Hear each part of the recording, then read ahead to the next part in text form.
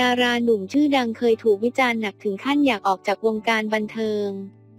เป็นอีกหนึ่งดาราหนุ่มดังสุดฮอตอย่างไบรท์นรพัฒน์วิไลพันธ์นักแสดงหนุ่มคนเก่งมากความสามารถ หลากหลายผลงานหลายด้านจนมีแฟนคลับหลงรักและติดตาม support เขาจำนวนมาก ซึ่งเราจะเห็นผลงานของเขาอยู่บ่อยครั้ง แต่มีคนรักก็เจอมุมวิจารณ์บ้าง ที่ล่าสุดเจ้าตัวได้เปิดใจผ่านสื่อว่าเคยเจอถูกวิจารณ์เหมือนกันทวิตเตอร์นี่ตัวดีเลยร้อยคนชมก็ชม แต่พอมีคนติคนเดียวมันกลบร้อยคนหมดเลยนะผมแบบโอ้โห เขาบอกว่าเล่นได้ธรรมชาติมากเล่นยังกระหินยังเนี้ย ผมแบบทั้งทั้งที่ชมร้อยคน แต่คนเดียวนี่ผมเอาออกจากหัวไม่ได้เลยอะเพราะผมรู้แก่ใจ มันเหมือนถูกจี้ปมในใจ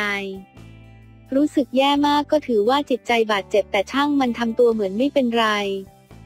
ถึงขั้นถ้าย้อนเวลากลับไปช่วงหนึ่งของชีวิตได้ อยากกลับไปแก้ไขในช่วงเวลานั้น